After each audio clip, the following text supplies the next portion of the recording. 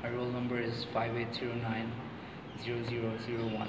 My project partner is Kumari Priti Singh. Her roll number is 5809-0004. Uh, in this video, we'll be demonstrating our project for our course on computer organization and assembly language. Uh, our project is titled Voice Recognition Based on FFT. As the name obviously suggests, it's an app that can recognize people based on their voice uh, using the fast Fourier transform algorithm. Uh, if you see there, I have uh, set up the app. I've set up the app on two platforms, uh, on Windows and, and Linux. Um, it works on only one of them though, I'll explain more later. For example, on Windows, uh, I've already recorded my audio and so it should be able to recognize who I am. This might take a few tries as it's not perfectly accurate and also I've been up all night so my voice is very rough. One, two, three. Okay, there you go. First try. So it recognized my voice and also the tone in which I was speaking. I recognized two of my tones, mid and low. Uh, I doubt that I can get too low because I don't really feel that good. One, two, three. Uh, you see, it didn't work that time. One, two, three.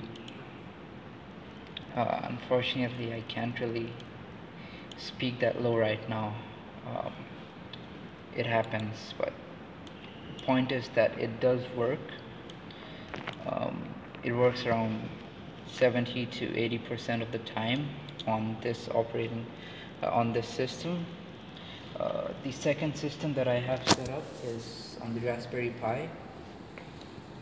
Uh, I have a speaker and the basic setup is you push the button to record your audio and you release it when you're done. Uh, you need to record for at least one second. That's the minimum limit.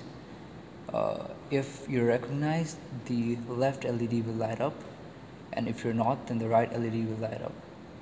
Uh, if you're if you're not recognized and you want to add yourself to the database you can press the right button.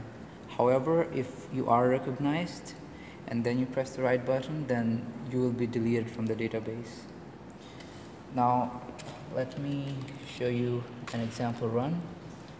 So uh, I have used the Pi4J library to control the GPIO setup. Uh, now the application is running. Uh, I will push the button to talk. Now as I said earlier there is a problem with this setup the mic.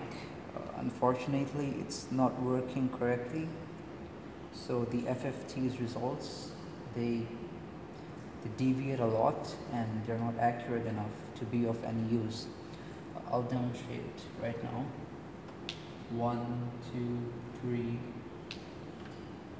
Uh, like you can see it gave the result of 16 and 181 uh, which is the location of the peaks in the FFT of my sound wave. Uh, and as you can see the left LED lights up because it doesn't recognize me. Now if I try again it'll give different results again. For example one two three. This time it, it didn't really give any result because the mic didn't really pick up anything. So yeah this this setup doesn't work accurately enough. It, is coded properly however. In theory it should work with a better mic. Uh, that'll be all. Thank you